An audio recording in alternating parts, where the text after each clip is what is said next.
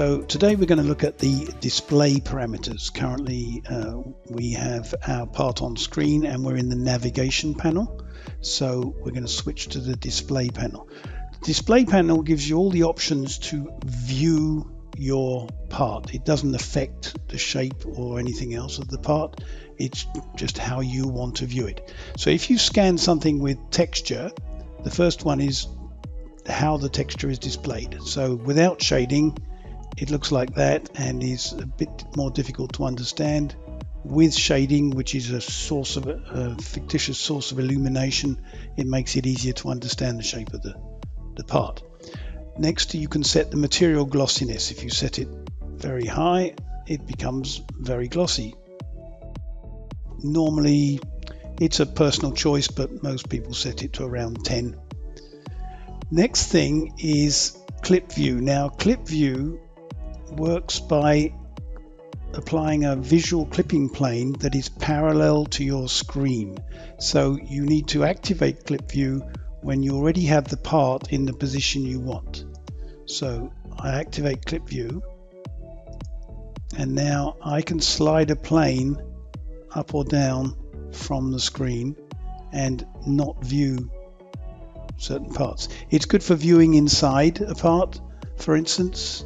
That makes it easier, but uh, again, it's purely a visual effect. Now I can turn off clip view and turn it roughly sideways and again the plane will be parallel to the screen so you now get another way of clipping your object.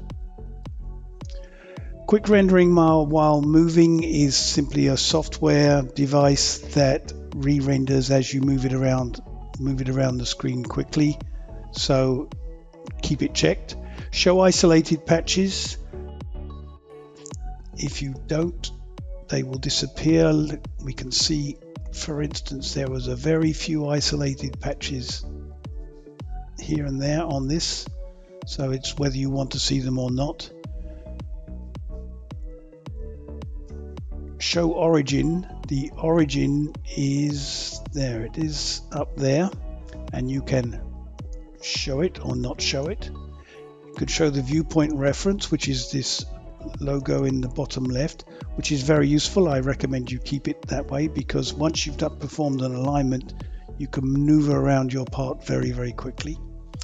And finally, show linear scale. In the bottom right, there's this linear scale and you can turn it on or off and you can increase the font size for people who require a larger font size to view.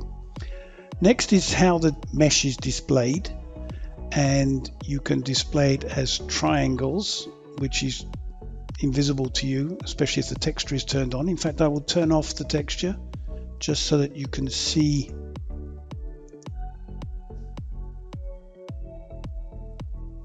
you can choose wireframe which at this scale becomes solid blue but as you zoom in you can see that the triangles are empty you can choose triangles and wireframe. And you can finally choose transparent triangles so that you can see inside the object. And the final option is point cloud.